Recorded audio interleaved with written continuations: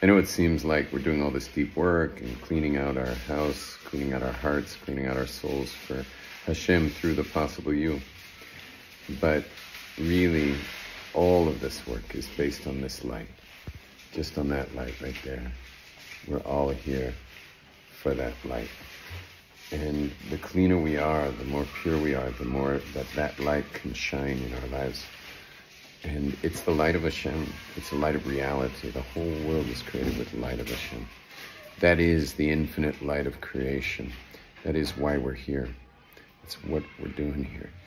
But you can easily miss it if you got the chetzitzas of inner negative beliefs and you're so busy with survival strategies. It's all chetzitza on that interliyid that you are so that you can receive the light, the light of Hashem, the light of oneness.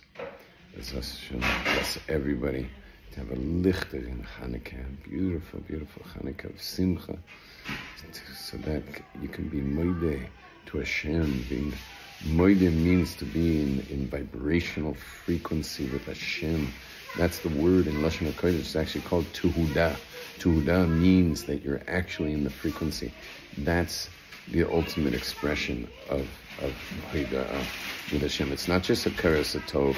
It's not just recognizing the source of everything you have, but it's being in a vibrational resonance with Hakadosh Baruch Hu in everything you do.